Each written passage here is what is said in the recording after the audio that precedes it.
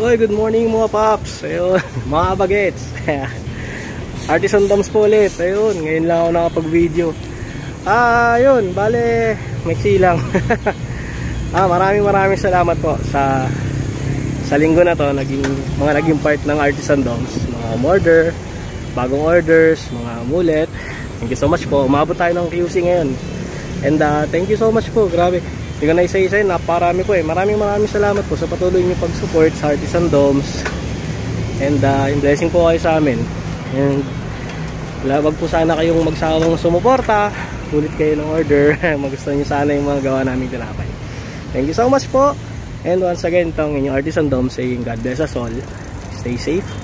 Stay healthy, everyone.